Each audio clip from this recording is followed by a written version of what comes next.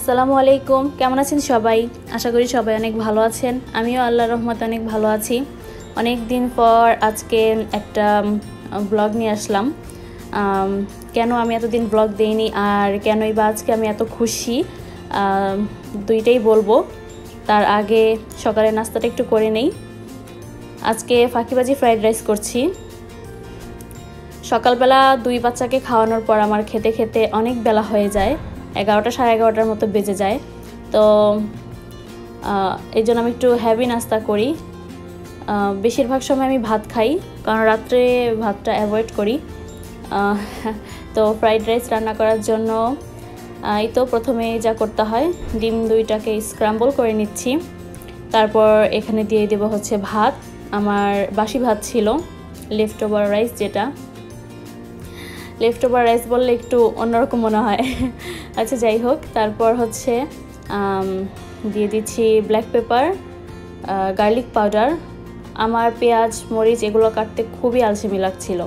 তাই এগুলি সব পাউডারগুলো দিয়ে তো করে নিচ্ছি। ব্ল্যাক পেপার গার্লিক পাউডার আর হচ্ছে হচ্ছে অনিয়ন পাউডার দিয়ে একটু নেড়ে চেড়ে মিশিয়ে নিয়ে তারপর দিয়ে দেব লবণ।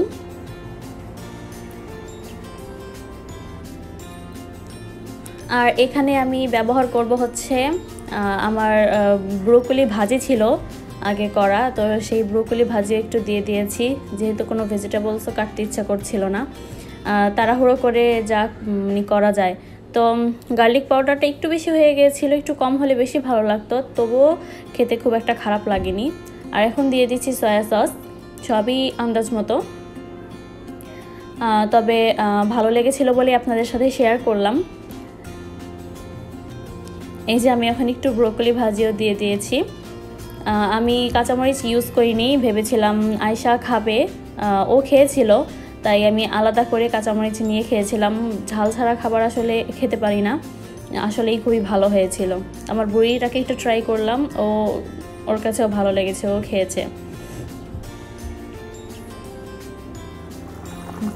এই তো দুপুরের রান্নাটাও সেরে নিয়েছি। আগের কিছু রান্না করা ছিল, যেহেতু বাইরে যাব তাই শুধু একটু চিকেন রান্না করলাম বড়ি পাখির জন্য।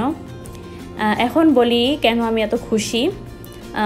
এই যে মোবাইলটা দেখছেন, এই মোবাইলটা হচ্ছে আমার সেই দু হাজার ষোলো সালে কেনা six S plus iPhone six S plus তো এই মোবাইলটা যেহেতু আমার ব্লগিংয়ের কোনো প্ল্যান ছিল না, হঠাৎ করে আমি ব্লগিং শুরু করেছি তো আমার কোনো কিছুই মানে কেনা ছিল না, কোনো প্রিপারেশনই ছিল না। এই যে আমার ক্যামেরাটা দেখতে পাচ্ছেন যে ব্যাক সাইডের ক্যামেরাটার কি অবস্থা খুবই বাজে। ইভেন যখন আমি ভিডিও অন করি তখন খুবই লাফায় যেটা বলে আর কি, যে এই যে আমি একটা গাড়ি ভিডিও করছি যে কি বাজে। শুধু আমি ফ্রন্ট ক্যামেরাটা দিয়ে এতদিন ভিডিও করেছি, এই যে ফ্রন্ট ক্যামেরাটা দেখেন। তো আমি এটা দেখানোর একটাই উদ্দেশ্য সেটা হচ্ছে মানে আমার ভিডিওগুলো এতদিন খুবই বাজে এসেছে, আমি বুঝতে পারছিলাম আর ভালো মতো কোনো ছবি তুলতে পারছিলাম না। এই জন্য আমার থামনেলটাও খুব ভালো মতো আমি বানাতে পারিনি। এজন্য হয়তো বা খুব খারাপও লেগেছে দেখতে। তবুও আমি হাল ছাড়িনি। যখনই আমি শুরু করেছি ব্লগিং যে যেমনই হোক আমি করব স্টপ করব না। তো মধ্যে এর মধ্যে আরও অনেক বেশি সমস্যা হয়ে গেছে ফোনের ফোনের জিবি ফুল হয়ে গেছে, আর কোনো স্পেস ছিল না। তারপর ভালো মতো করে ভিডিও করতে পারছিলাম না। তো এই জন্য আমি স্টক রেখেছিলাম যে নতুন ফোনটা কিনে নিই। অ্যাপল স্টোর খুলবে খুলবে করে এতদিন আমি ফোনটা কিনে নিই বাট ফাইনালি ফোনটা কেনা হয়েছে। এই যে, এই ফোনটা কিনেছি আইফোন এক্স আর যদিও এখন আরও বেশি মডেল বের হয়েছে ইলেভেন প্রো ম্যাক্স এখন চলছে। এর আর কিছুদিন পরে হয়তো বা টুয়েলভ বের হবে। তবুও ওই যে একটা কথা আছে না, সাধ্যের মধ্যে সবটুকু সুখ। এটাও খারাপ না এক্সারও অনেক ভালো। আমি কোরাল কালারটা নিয়েছি। তো এই কারণে আজ মানে ফোনটা হাতে আসার পর থেকে অনেক মানে ভালো লাগছিল এই যে এটা আমার ফোন। আর ওই দিনই একটা কেস অর্ডার দিয়ে দিয়েছিলাম, সেটাও চলে এসেছে। তো এই জন্য আর কি মনটা খুব ভালো লাগছিল যে না, এখন আমি ফাইনালি পারব। আর এই যে ভিডিওটা কিন্তু আমার সেই আগের ফোনটা দিয়েই করেছি, তাহলে বুঝতে পারছেন যে কতটা ঘোলা আর কেমন যেন একটু আসতো। মোটামুটি চলতো। যাই হোক তো ফোনটা আসার পর আর বেশি দেরি করিনি। অনেক অনেক ভিডিও করেছি।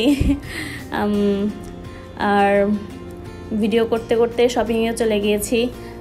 শপিংটা কিছুদিন স্টপ রেখেছিলাম। যেহেতু বাইরে যাইনি, কিন্তু সামার আসে, এসেছে।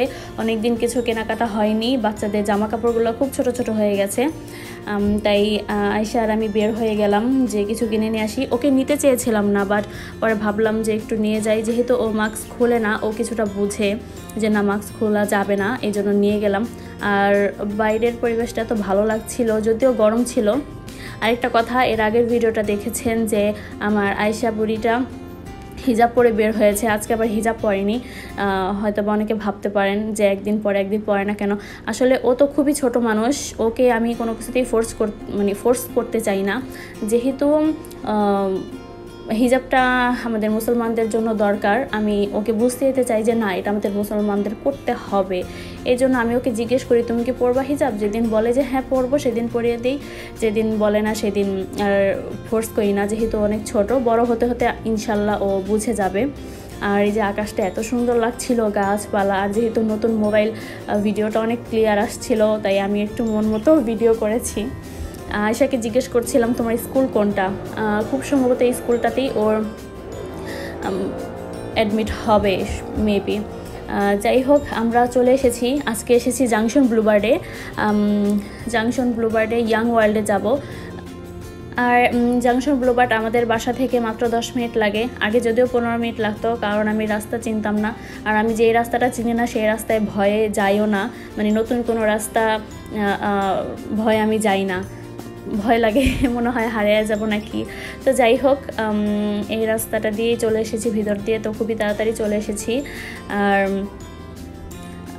আইসা একটা পাখি দেখাচ্ছিল কবুতর ছিল ওখানে, তো আম্মু বলছিল, আমাকে বলছিল, আম্মু, পাখি দেখো। ও তো যাওয়ার সময় পাখি, গাছ, এগুলো দেখতে দেখতে যায়, খুবই এনজয় করে। আমিও সেগুলো ভিডিও করছিলাম।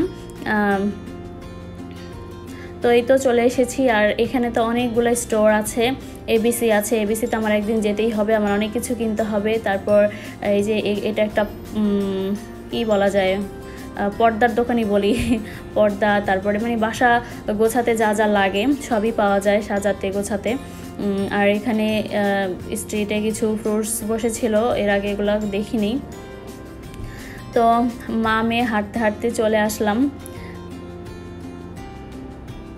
অনেক দিন পর এই রাস্তাটা এসেছি তো মানে খুবই ভালো লাগছিল।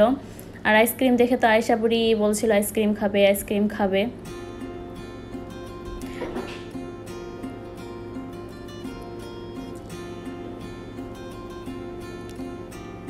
তো এই তো আমরা চলে এসেছি ইয়াং ওয়ার্ল্ডে। ভিতরে যাব, দুই বাচ্চারই ড্রেস কিনতে হবে।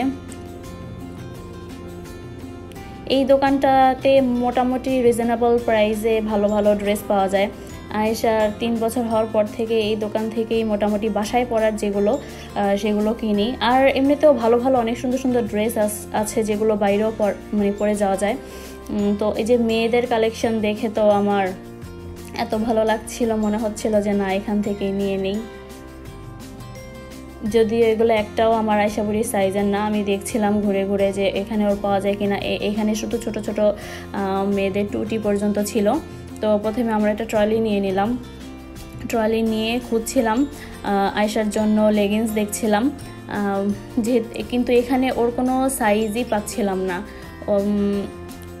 অনেকক্ষণ ঘুরেছি, অনেকক্ষণ ছিলাম স্টোরে ওর চাইতে হয় অনেক বড় বড় সাইজ ওগুলো পাই, আর নয়তো ছোট ছোট সাইজেরগুলো পাই।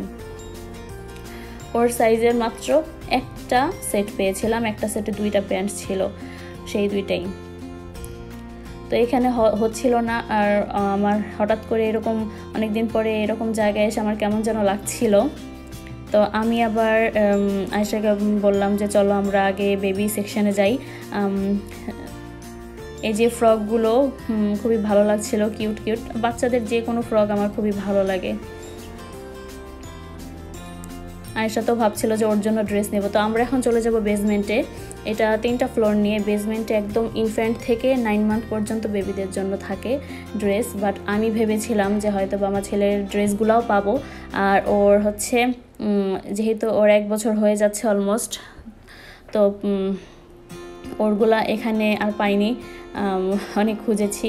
আর এগুলো ঘুরে ঘুরে দেখছিলাম এই যে নিচে ইনফ্যান্ট থেকে মানে জন্মের পর থেকে নয় মাস বয়স পর্যন্ত যত কিছু লাগে সবই আছে। টয়েস থেকে ধরে নেল কাটারের সেট মানে এভরিথিং ক্রিপস তারপরে স্টলার যদিও ওপরে স্টলারগুলো অত ছোট বেবিদের জন্য না, তবুও দেখলাম যে এখানেই রেখেছে। আর এত কিউট কিউট শুজ বেবিদের আমি তো আমার ছেলের জন্য খুঁজছিলাম, এই যে এই জুতাগুলো দেখছিলাম যে দেখি আমার ছেলে হয় নাকি কিন্তু ওর সাইজের কোনো জুতাই আমি পাইনি। কিন্তু মেয়ে বেবিদের শ্যুজগুলো খুবই সুন্দর। আমার আয়সা যখন ছোট ছিল তখন আমি এই দোকানটা চিনতাম না আর আমরা এই দিকেও ছিলাম না। তো কার্টার্স বা চিলড্রেন প্লেস কার্টার্স থেকেই বেশিরভাগ ওর ড্রেস কেনা হতো। আর কার্টার্সের ড্রেস তো আমি মনে করি আর কোনোটার সাথে যায় না। মানে ওইগুলা ওই ওই স্টোরের ড্রেসগুলা অন্যরকম সুন্দর। কিছু ওয়াটার পটও দেখছিলাম আমার বাবাটার জন্য। আর আমি এইরকম ড্রেস খুঁজছিলাম সামনে একটা স্পেশাল ওকেশন আছে সেই ওকেশনের জন্য। কি সেই ওকেশনটা সেটা আপনারা খুব তাড়াতাড়ি জানতে পারবেন। যাই হোক ওই ড্রেসগুলোর মধ্যে থেকে আমার বেবির সাইজ পাইনি। তো এই পাশে কিছু ড্রেস ছিল দেখলাম যে এখানেও কোনো সাইজ নেই। তখন আমার খেয়াল করে দেখলাম আমি যে না, এখানে তো নয় মাসের পরে আর কোনো ড্রেস নাই। তো যে বেবিদের আরও অনেক কিছু ছিল। আমি আয়সার সময় যেহেতু নতুন এসেছিলাম এখানে, তো অনেক কিছুই জানতাম না। আর আমার হাজব্যান্ডের এত বেশি ধারণা ছিল না। তো অনেক খুঁজেছি। এইসব জিনিসগুলো অনেক খুঁজে খুঁজে তারপরে কিনেছি, কোথায় একটু পাওয়া যায় সবার কাছে জিজ্ঞেস করেছি। বাট আয়সার সময় সরি বাট আমার ছেলের সময় যেহেতু সব কিছু জানি, তো এখানেই সব কিছু ইজিলি পাওয়া যায়, তো এখানেই চলে আসি। যেহেতু একটা স্টোরি সব কিছু পাই। তো এই যে বললাম না যে মেয়ে বেবিদের শুজগুলাও আরও বেশি কিউট লাগছিল তো আমি আবার ধরে ধরে দেখছিলাম। এখন মনে হচ্ছিল একটা মেয়ে বেবি থাকলেই তো ভালো হতো, তাহলে এগুলো সব কিনে নিয়ে যেতাম। তো যাই হোক, এখন আমরা চলে এসেছি সেকেন্ড ফ্লোরে সেকেন্ড ফ্লোরে হচ্ছে এক বছর বয়স থেকে আরও বড়, যত বড় আর কি বেবি পর্যন্ত আছে লাইক ফোরটিন ফিফটিন ইয়ার্স পর্যন্ত। তো ওখান থেকে কিছু নিয়ে নিলাম। অনেক খুঁজেছি, ভালো, মন মতো কোনো কিছু পাই না। তো ওগুলা দেখে দেখে কিনে এখন আমরা একদম ফার্স্ট ফ্লোরে আবার চলে এসেছি, যেই ফ্লোর দিয়ে ঢুকেছি। তো এখান থেকে যে আমার বুড়ি পেয়েছে তার ইউনিকর্ন ডল এখন এটা বলতেছে মানে আমাকে বলছিল যে, মা এটা আমার ফ্রেন্ড এটা আমি, ওকে আমি নিয়ে যেতে চাই। তো ও একা একাই আবার ট্রলিতে নিচ্ছিল। এখান থেকেও আয়সা বুড়ির অনেক কিছু কেনাকাটা হয়ে গেছে, তার সানগ্লাস তো যদিও আমি ইউনিকর্ন ডলটা রেখে দিয়েছি, এটা আমি ভেবেছি যে ওর বার্থডেতে আমি ওকে গিফট করব। তো আর সব কিছু দেখছিলাম। আর আমার না এরকম জায়গায় গেলে মানে এত বেশি কিছুর মধ্যে গেলে আমার চোখ আধা ঘণ্টা পর থেকে ব্যথা করতে থাকে। মনে হয় যে মানে অনেক বেশি কিছু দেখে ফেলি। তো যাই হোক, আমাদের মোটামুটি কেনাকাটা শেষ। আমি দেখছিলাম যে সব কিছু ঠিকঠাক মতো নিয়েছি কি না এই যে এই প্যান্টের সাইজটাই শুধু ওর পেয়েছিলাম। আর কোনোটাই পাইনি। ওর যদিও প্যান্টটাই বেশি ইম্পর্টেন্ট ছিল। আর এই যে বুড়ির কেনাকাটা, সানগ্লাস, তারপর কি একটা সেট কিনেছে। তারপরে হেয়ার ব্যান্ড আর এই যে চুড়ি, এই চুড়িটা দেখে যদিও একটু প্রাইস বেশি ছিল, এই কয়েকটা চুড়ি থ্রি ডলার তারপরে নিয়ে নিয়েছি আমার বুড়িটার জন্য। আর এই যে আমার বাবাটার জন্য এগুলো। আমি জানি এগুলো একটাও আমি পরে দেখাতে পারব না, তাই আমি ওগুলো আগে একটু দেখে নিলাম। আর ওই যে বুড়ির হাতে একটা গাড়ির সেট ছিল, চারটা গাড়ি একটা ইসের মধ্যে।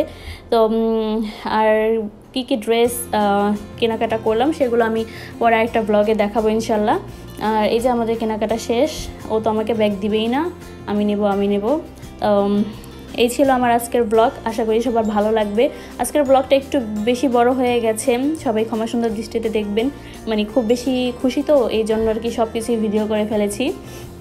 আচ্ছা যাই হোক সবাই ভালো থাকবেন, আমাদের জন্য দোয়া করবেন, আর আমার চ্যানেলটি যারা সাবস্ক্রাইব করেননি, প্লিজ সাবস্ক্রাইব করবেন, আর সাথে লাইক বাটনটি ক্লিক করে দিবেন, আর বাসায় যেতে যেতে আমার বুড়ির দুষ্টামিগুলো আমি ভিডিও করছিলাম, সেগুলো আপনারাও একটু দেখেন যে কি করে, আর এই তো, আমাদের জন্য দোয়া করবেন, আল্লাহ হাফেজ।